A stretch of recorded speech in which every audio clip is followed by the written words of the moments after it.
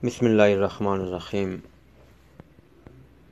हज़रत बाबा फ़रीदुद्दीन गंजन शकर रहमतुल्लाहि ताला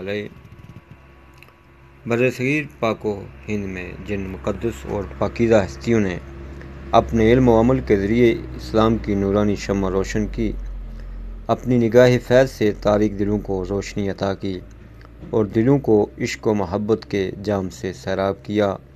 उन अजीम हस्तियों में वली कामिल सिलसिला चिश्तिया के अजीम पेशवा शेख़ुलस्लाम हज़रत फरीदुद्दीन मसूद गंज शकर अलैह का नाम सर फहरिस्त है।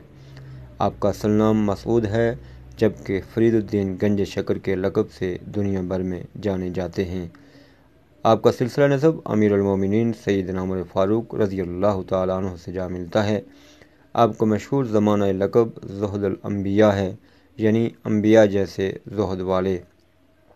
क्योंकि आप बहुत ज़्यादा इबादत और रियादत और ज़िक्र फ़िक्र किया करते थे। और अल्लाह सुबहान ताली के इस फरमान की अमली तस्वीर थे कि ये वो लोग हैं जो खड़े और बैठे और अपनी करवटों पर लेटे अल्लाह का ज़िक्र करते रहते हैं और आसमानों और ज़मीन की तख्लीक में फ़िक्र करते रहते हैं।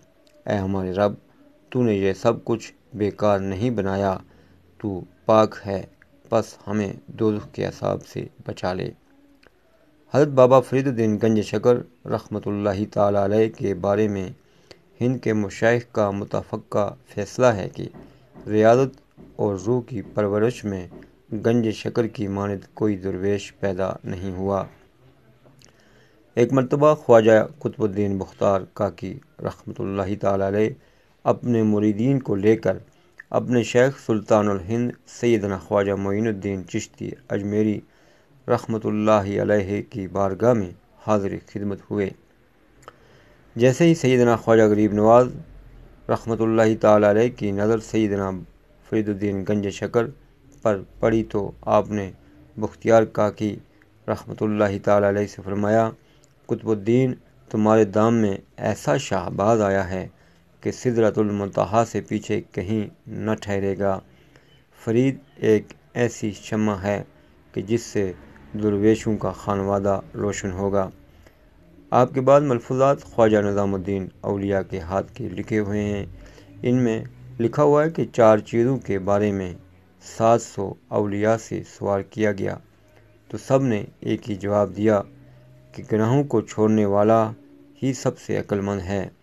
दाना और हकीम आदमी वो है जो किसी चीज़ पर गरूर नहीं करता और कनात करने वाला ही सबसे ज़्यादा मालदार और गनी होता है।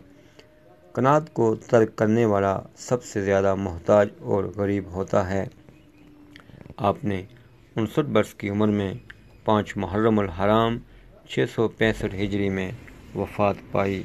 इन अल्लाहुम्म सल्लि अला सय्यिदिना मुहम्मदिन नबियुल नबीमी व अला आलिहि व सहबिहि वबारक बारिक वसल्लम